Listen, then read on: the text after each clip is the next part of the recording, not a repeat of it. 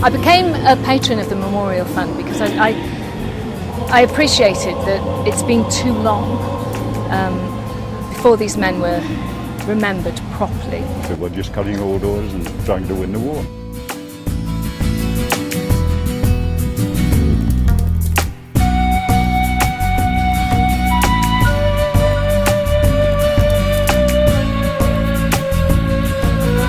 And their bravery, their astonishing and profound bravery, is something that should never be forgotten.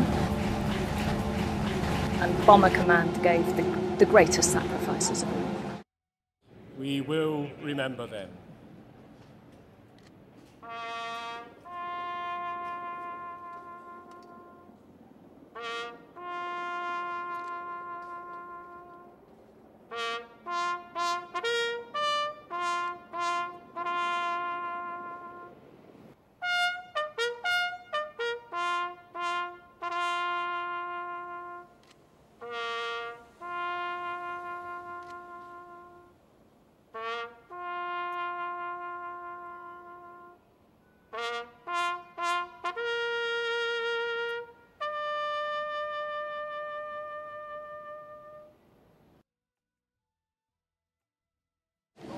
We need your help to preserve the Bomber Command Memorial for future generations. So if you could find it in your heart at all possible to pledge £5, then please just go onto our website and donate that money. Thank you.